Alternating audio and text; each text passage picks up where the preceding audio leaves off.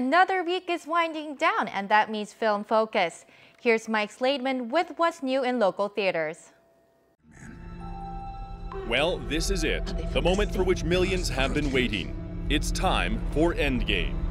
But before we see just what the Avengers and company are up to, we've got to check in with the devil because he's always standing in the way of true cinematic pleasure, is he not? The Curse of La Llorona is now in its second week, and when it was playing alongside Hellboy, it was the more desirable option. But now that it's up against Endgame, well, all bets are off. Yeah, that's right, the new adaptation of Hellboy opened last week. If you can still find it in theaters, should you watch it? No, probably not. Welcome to another edition of Film Focus. I'm Mike Lademan.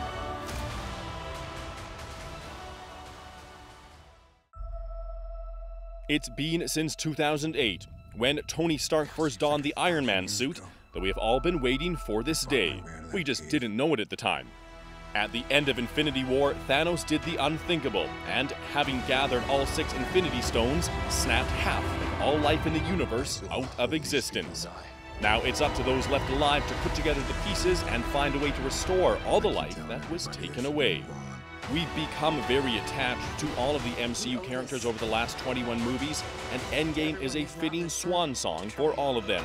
Something to which Marvel has introduced audiences over this time is the idea of an effects laden superhero movie with true heart.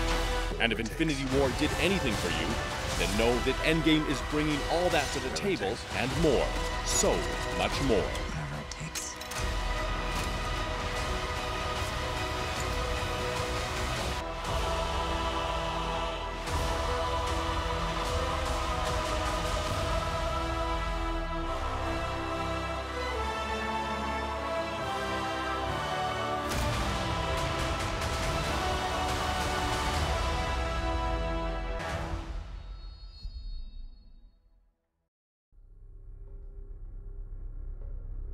In 1970s Los Angeles, La Llorona is stalking the night and the children. Ignoring the eerie warning of a troubled mother suspected of child endangerment, a social worker and her own small kids are soon drawn into a frightening supernatural realm. Their only hope to survive La Llorona's deadly wrath may be a disillusioned priest and the mysticism he practices to keep evil at bay, on the fringes where fear and faith collide. La Llorona feels a lot like the Conjuring universe, where evil must be fought with the help of a priest. And in fact, it's produced by James Wan, known for his work on the Conjuring series. So is it worth spending some time with this unholy terror of the night? Maybe, but maybe not. La Llorona relies on a lot of jump scares, and never explores the depths and mystery of its titular character, which is a shame. There are really very few people for whom Endgame is unsuitable, so if it's between Thanos and the Devil, well, I'd recommend the villain with a bit of heart. Rinsing.